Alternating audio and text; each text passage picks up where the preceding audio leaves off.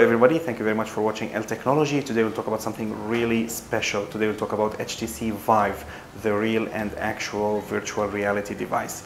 Now we're not talking about a device where you can put your phone. No, we're talking about a complete ecosystem with equipment and everything, but the result is fantastic. Believe me, I tried and I'm not even a fan of VR. Let's watch.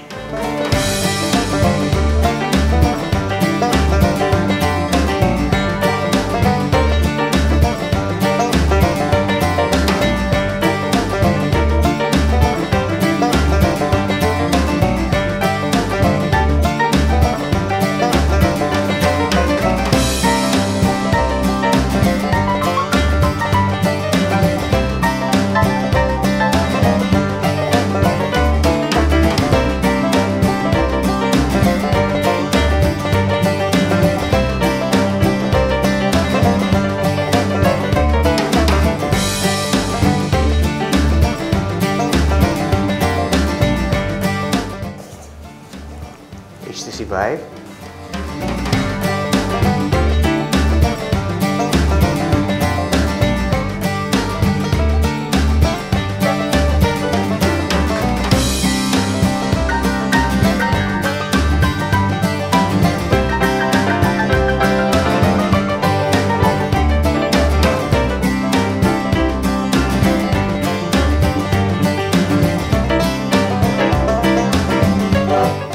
purchase HTC Vive, this is what you get in box. The HTC Vive itself. The two controllers. The base stations.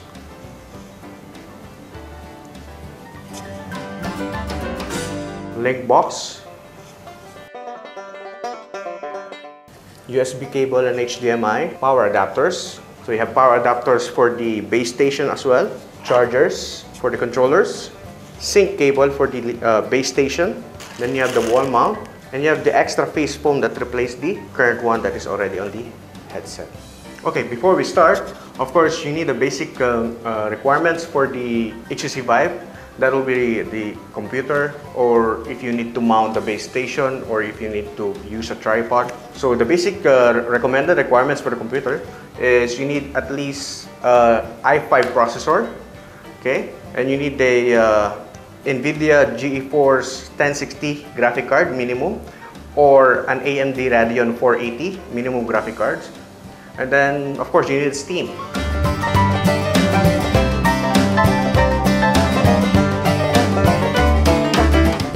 Okay, this is where you connect the power. Okay. There are two ways in connecting the base station, B and C, wirelessly. That means you don't put the sync cable. Or A and B, where you need to put the sync cable.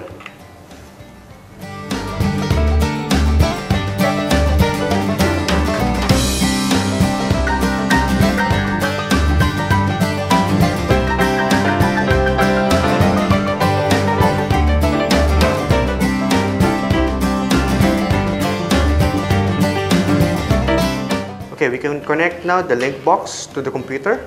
Okay, you have the USB cable. Of course, you have to have the PC as well, PC side. USB. You have the HDMI. And you have the power. Okay. You connect this to the computer.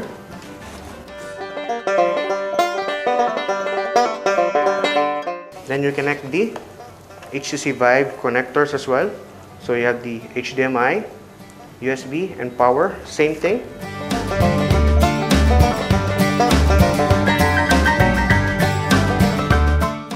So now we install the software. Basically, we need the Steam. So we go to browser htcvive.com. Then you go to setup and download. Download Vive setup. Since I already have my uh, software installed, so I just go to Steam, open it. So it might take some time, so depending on your graphic cards, as well as your internet connection. Okay, now that we have Steam, the next thing we do is install Steam VR. So you go to Library, Tools, and you type Steam VR. Okay, so you have Steam VR. But since I've already installed it on my computer, so I don't have to do. So I just double click. And there you go.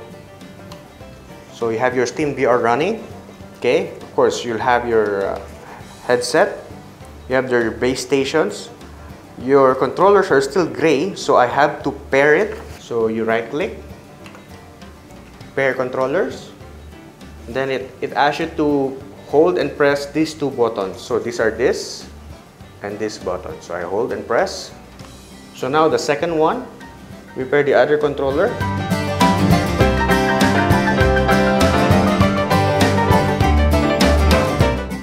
Okay, now we do the room setup. You have two options to do the room setup. Okay, you have the room scale and the standing position. Since we, we want the perfect experience for Vive, we do the room scale. Okay.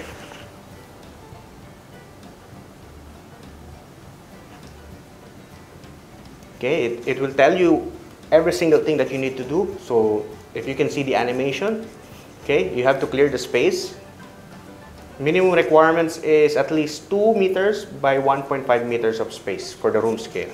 Next, now you have to establish tracking. You need to establish tracking, so make sure that the three uh, components are detected by the base station. Okay, so you have the headset and the two controllers. Now it will ask you to locate your monitor.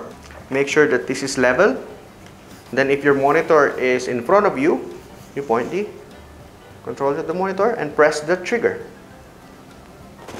Next thing to do is calibrate floor. So how to calibrate? You put the two controllers on the floor. Then make sure that your headset is level. And then you calibrate floor.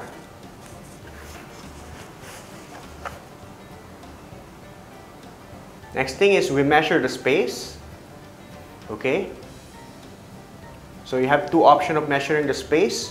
One is you draw your space. Okay, let's do that.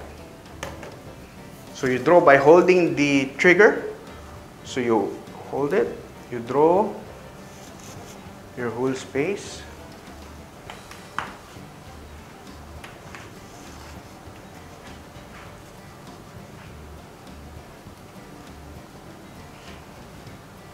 Now the second option is to do the advanced mode.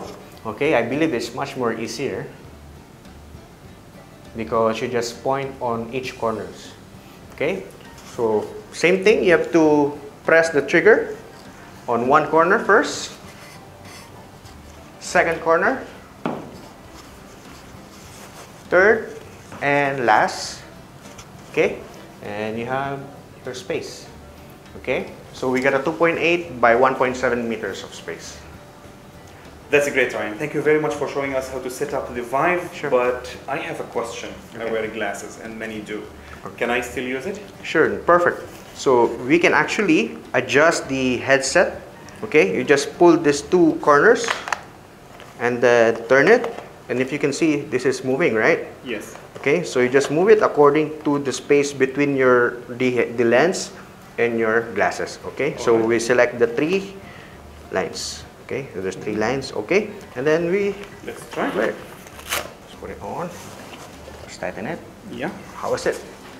Well, quite comfortable. Unexpectedly. Okay. now, I want you to, to see if you're seeing the controllers. Yes, I see the controllers. Can you get it? Well, let's try. Come? Okay, Yes. okay, okay. To, for you to know what I'm actually seeing is floating controllers without seeing Ryan. Now, the best thing about Vive is of course safety. Mm-hmm. Why? If you can see, if you go near the, the lines that we made a while ago, do you see Oh, the blue yes. lines? Yes, I see the blue lines. I Okay. cannot go beyond. Okay, yes. it's called chaperone. Mhm. Okay, so it guides you that okay, you don't have to go past the lines. Yes, because if I go past the lines, I might hit something. Yes, of course. Yes. So if you can see, you'll see squares down, up, down. So that's your playing space. Yes. Okay, it I was drawn earlier using the room scale. Nice, right? Yes, very Okay, nice. now let's try to play something.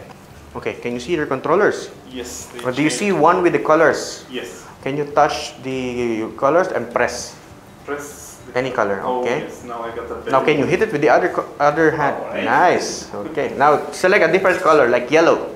There you go and hit it. Nice. Okay. Now, can you press the, it says grip. Can you see that? Side buttons. There's a side buttons. Yeah. Can you turn the controller? Yes. See, there's a side buttons. Yeah. Can you press that? So you can see that you're pressing them and then you have the trigger. Here. Yeah, that's one. Yes, That's yes. the other one. Okay. Now that you know how to use it, let's open an application for you to play. Just so you know, this is really awesome. I can see myself floating in um, a wide open space, and these things are floating with me. So this is called Space Pirate Trainer.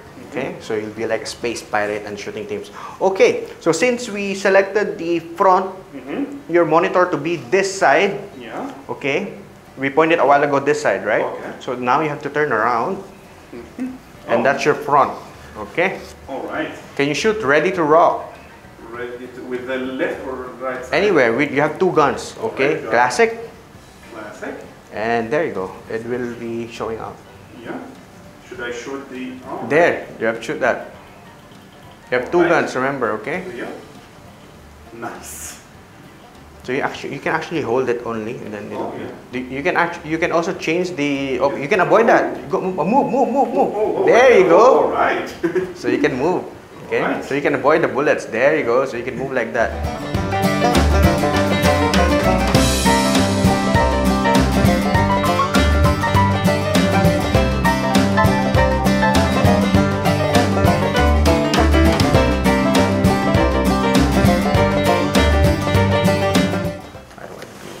Okay. this is really, really nice.